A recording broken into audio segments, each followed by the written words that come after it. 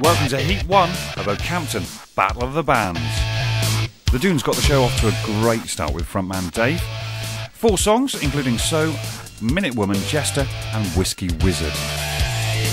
Next up was Time of Our Lives, a little bit shaky to start off with, as they were worried about following the Doones, uh, but a nice five songs from them. Alternative Plan came next. Another five songs, including Light, Millennium Punk, Rewind, More Than You Give, and Progressive Session. Next up, Fire for Effect.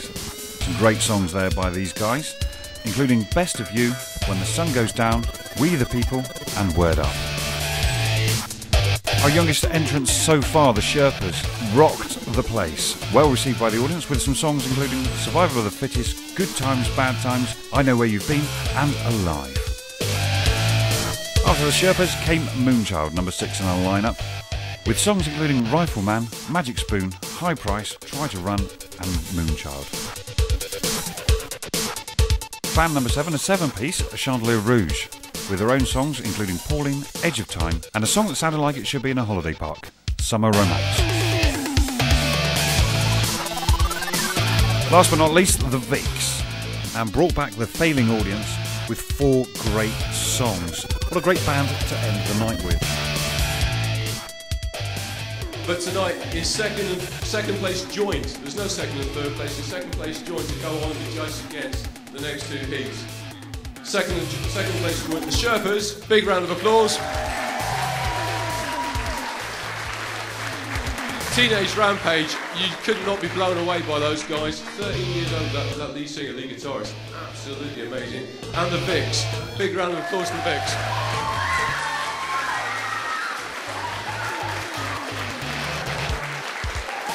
So I'm sure, I'm sure you've all worked it out for yourselves.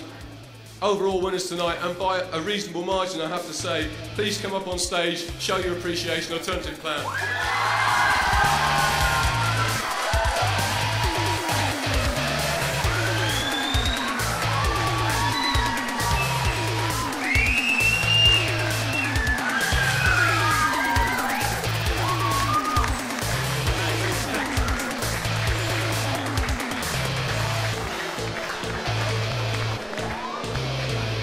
It seems really sad, but all I'm going to give them tonight is this bubbler bubbly, and I'm trusting they're old enough to drink it.